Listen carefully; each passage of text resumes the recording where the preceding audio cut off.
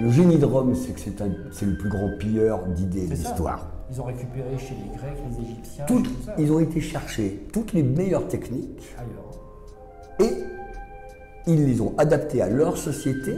Moi, j'aime bien donner un exemple. On parlait des Gaulois. Les Gaulois ont inventé la moissonneuse-batteuse. Ouais. Et oui. Euh, et avec un joug et, des bœufs qui poussaient la machine. Hein. et la machine moissonnait.